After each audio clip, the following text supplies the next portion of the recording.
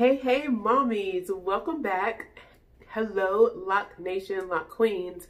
This video is important because we're in the middle of a epidemic, a global crisis. It is COVID season, as I call it. Today is Saturday, April the 4th.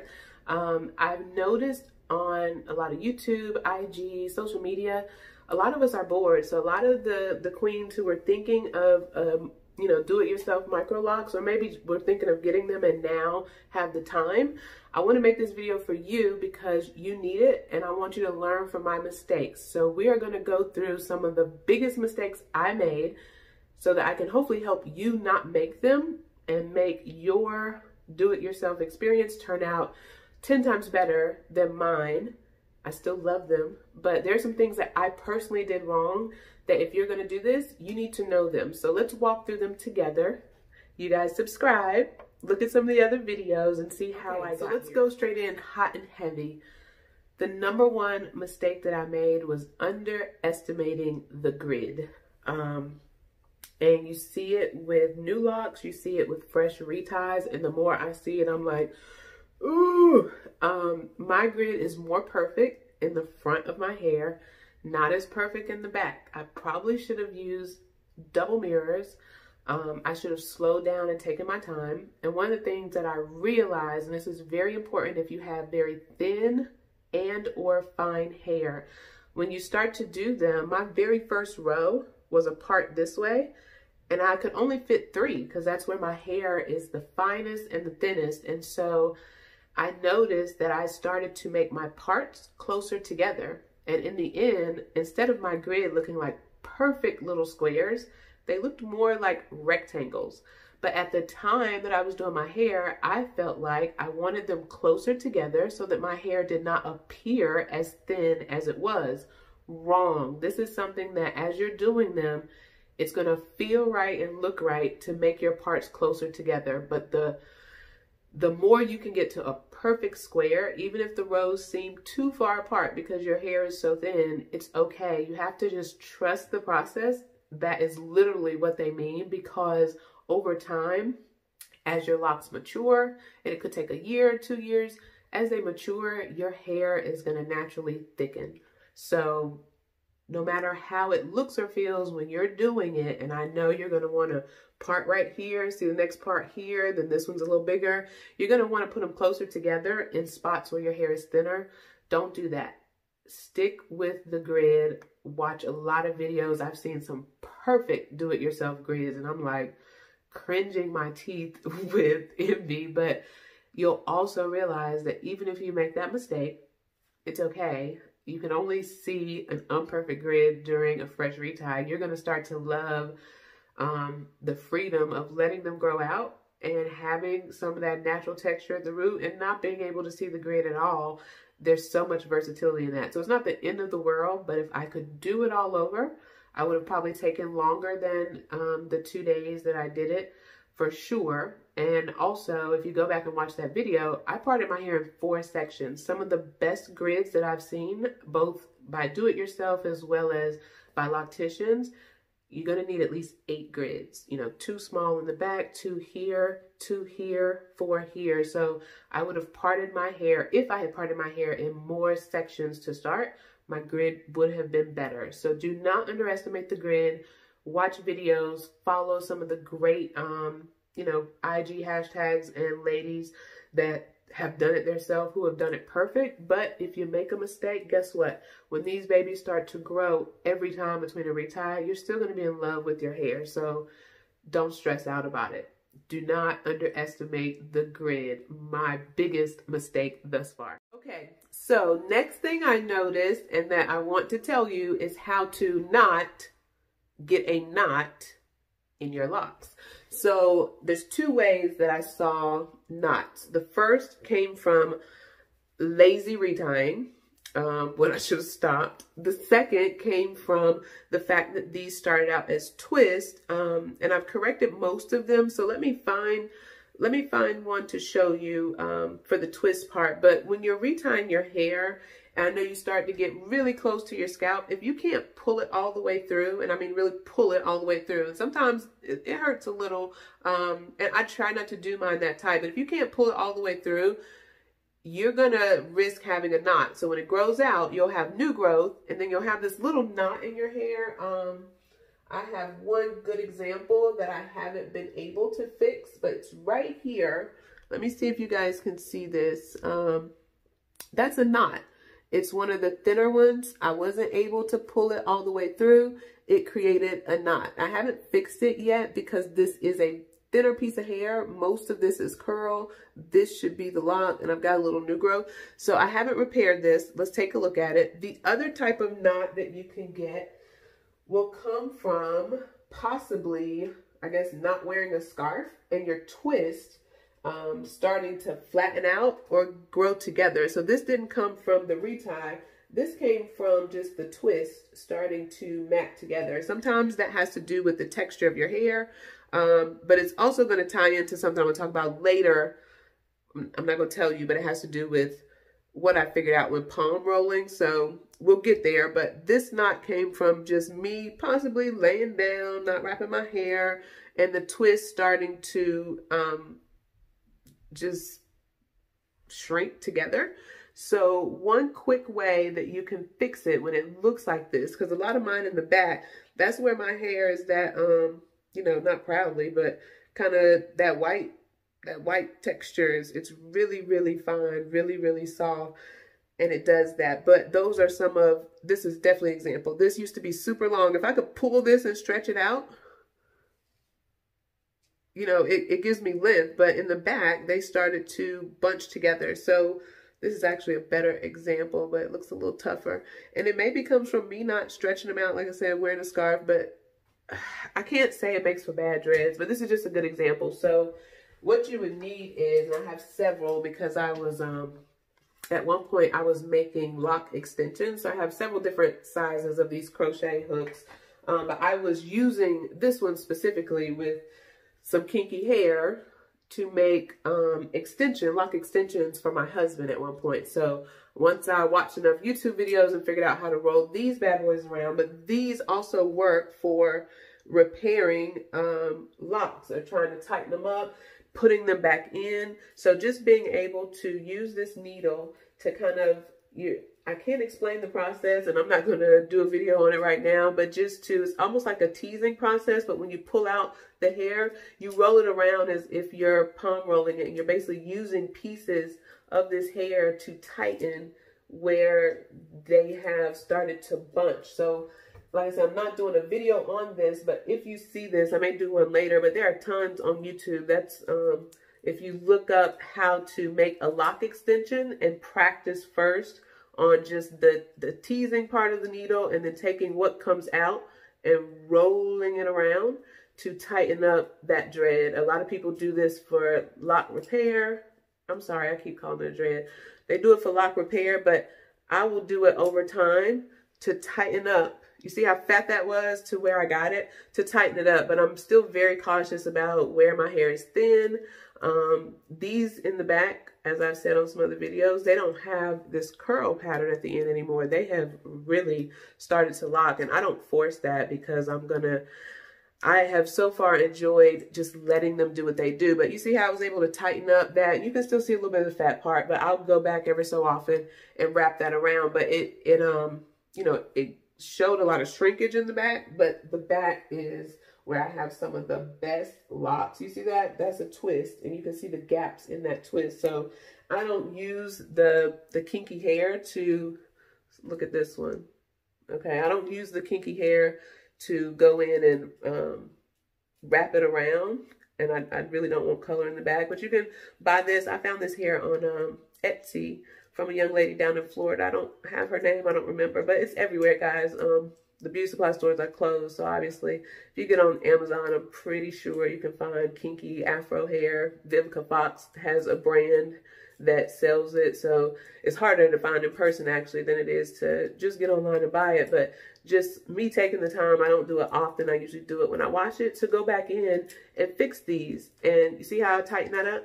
So you can get these. This is a the smallest. I cannot tell you what size. Like I said, if I could find that receipt, I would show you guys. But I have used this hook and um, for some of the fatter locks, thicker locks, you can use these. I haven't even opened this set. So if you get a knot in your hair, don't worry about it, but try not to. With twist, really all I can tell you is tie your hair up, but I loved the freedom of not having to wrap my hair. I, I just lay down most nights and I really got to stop. So the other one that we found here, remember this one was from a retie where I couldn't pull it or didn't pull it all the way through, didn't notice it. And as it grew out, I just left that there. This can also be repaired using the same method. I might not get it perfect the first time, but I will, you know, tease that, that lump and roll it around over time so that it will consistently match. But I don't want to thin this out too much. So that's why I don't, I kind of left it as is and I'll work with it as they go whatever you do, if you get a retie knot, so let's say there's a knot in your hair because when you retied it, didn't quite go all the way through, you didn't realize it, and then you notice it later, do not take a pair of scissors and try to cut that knot. Like if you see the knot here, do not try to cut it. Because it was part of your retie, your entire lock will fall off. Yes, that happened to me. And I used a little bit of this hair because it matches almost the color that I have. And I took the end of that lock. I had about this much here. I had a lock this long. I stitched it back in. Now I have worked with it so much, I can't, it was on this side. Is it this one? It's this one. I can't tell which one it is, but I had to stop because even this one, you see where I stitched it in? It's kind of thick here. I don't want to thin this out. I don't want it to be too heavy. So I only work on it from time to time because when locks start thinning, you will have to stitch them. But at any point, if you, um, another reason, we're going to talk about color, staying your natural color, but you can find this. I would get one pack of this for like, it's not a lot, um, maybe $20. I'm not sure. I didn't pay that much for this one. Keep one that matches your hair because just a pinch of this will repair thinning locks. You can thicken it up. So I haven't I'm bored, but I ain't that bored. It's not something that I want to do right now. I'm still just experimenting and learning. So do not get knots in your hair. So people who do braid locks probably don't have that second issue with the twist bunching together. So that may be a definite pro to look at doing braid locks versus twist locks. I'm not sure that was never an option on the table for me just due to the time of the do-it-yourself install. So I'm so bored. Let's take a quick look. I don't have a thousand subscribers. Real quick, subscribe. But let's get a word from our sponsors. Brighten skin tone just the right way without bleaching. Take a look at this before picture. Now take a look at this after picture. I started using Urban Skin RX based out of Charlotte for the Urban Skin RX Med Spa and I put it to the test. I bought a trial size 30 day package and tried to go for four weeks and see how my skin would be better. I'm so addicted now, I have purchased a bathroom cabinet full of Urban Skin RX products. So follow them on IG, continue to follow me, and let's get even toned, better, clearer skin every day. So let's fast forward and speed this up a little bit. We're going to talk about both color and moisture together as mistakes I made so that you don't do them. So just in the last two weeks, I have realized um, I should have stayed natural 1B or even went to the point where I continued to use a natural black rinse over my hair. However, I was intent on testing the bleaching, testing a few, did it again. So a total of two times bleaching, did a pink rinse. There's videos on all this. So subscribe, go back and watch it. If I could do that over, I would have not bleached my hair. I've done it before. I should have not done it for two reasons. And it goes back to what I told you about the knots. Number one, I get a little lazy. This hairstyle has been the best for minimal effort. And my bleached tips are dry as ever. Part of that is because use the right type of moisture, but this is not the texture that I started with. the other part of that is wrapping my hair, just using your silk bonnet, putting something on your end. So look at this end, okay? And let's compare it to this end, which was never colored, which is the reason why I didn't color everything. Look at the two.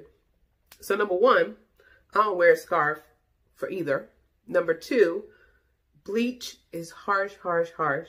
And even if I was to put a black rinse over this, I'm not going to be able to get this to bounce back unless I am daily moisturizing my hair.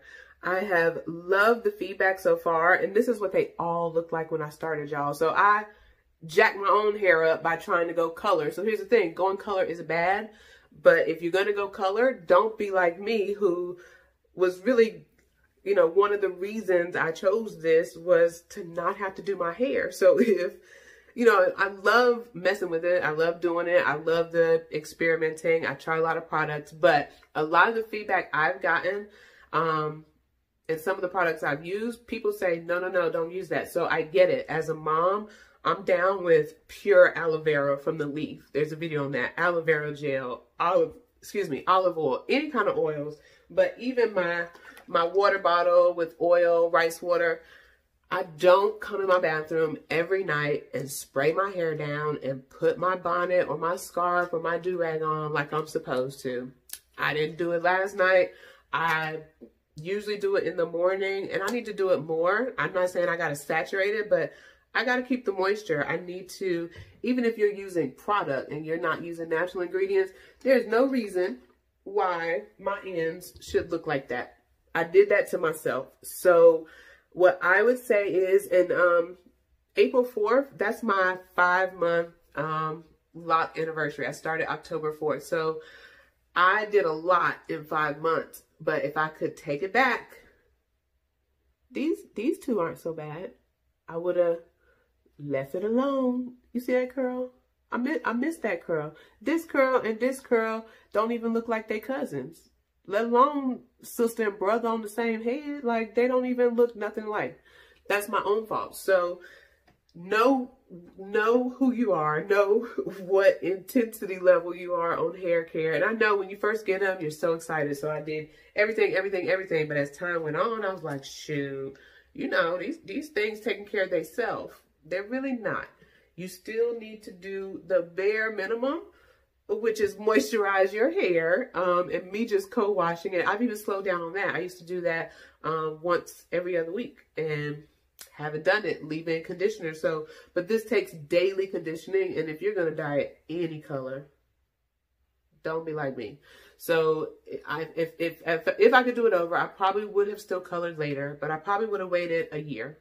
And I think that I could have gotten, you know, I love the texture, but I don't, you know, some of this is jacked up and I just got to fix it. So I can fix it. Hopefully you guys will subscribe, keep watching me. I'm going to do better now that I don't have to get up and go to work. There's no reason why I can't put aloe on my hair. You know, aloe, rice water, oil, spray bottle. There's no reason I can't do that every night. Just a little bit on the ends and wrap my hair up. There's no reason that I should be just tossing myself in the bed. I left the door open. I've been rolling around on, on not satin pillows. Just whatever. So don't don't be mean. Don't do that. And if you can help it, I'm not saying don't color because when you see some of these girls on IG and it's red and blonde, it is so beautiful. But only do that if you're ready for the upkeep that comes with it and do your research on and try out what products work best for you. If, if I can inspire you to do anything else, I did not start as a YouTuber and now I'm at over 500 subscribers. Now I'm motivated, I'm consistent. So just this alone helped me to record and document this journey. So I'm not going to be the best do-it-yourselfer up here, but I'm always going to review products. I love hair and skincare and I'm going to tell you the truth. But those, that's pretty much it, guys. Those are my big mistakes are, you know, um, just not doing my grid right, um, getting knots in my hair and not knowing what to do, not having an expert to go to. So that's the issue with do it yourself. But, you know, still finding a way to fix it. But I wish I hadn't done it. Um, putting color in too soon, maybe too much. And then not being consistent with moisturizing and uh, wrapping my hair. And I'm, I'm still not a person that I haven't even started to dive into styles and roller sets and buns and you know I'm right now there's not even a need to but I haven't even started doing all of that. Let me get my moisture right first but moisture moisture moisture. If you can use all natural or you find the right balance of products for you um, a lot of people if you go back and watch the videos read the comments um, some of the stuff I was using on my boys hair and I get it. Don't use beeswax. Don't use um, you know some of those things that are made for locks for you because they are too heavy. If you can stay natural, I'm going to put some links below. Support Amazon affiliates and get as many of the natural oils that you can. Get you some empty spray bottles and even get the um the empty like squeeze out bottles. I have a few. So I'll put links for all that stuff.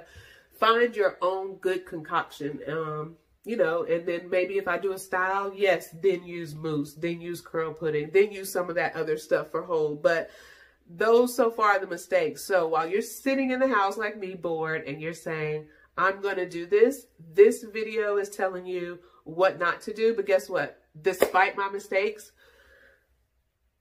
they're not regrets. They are just that. They're mistakes. I don't regret this. Um, it's going to get better. Um, my husband tells me all the time, patience, patience, patience. Of course, I want that drop. I want that length. I hate the shrinkage. Um, it's patience. It's um, just trust in the process. And everybody will show you how to do it. It looks great. Not a lot of people are going to come show you their mess and tell you what not to do. But these are the mistakes I don't want you to make. Subscribe. Let's get to 1K so I can go live. Support me. Follow me on IG. And I will put all of the ladies that I featured with permission in this video so that you can follow them as well because there are tons of better videos. But I love you guys. Thanks for supporting. Stay locked up, stay safe and healthy. And let's pray each other through this situation. See you guys later.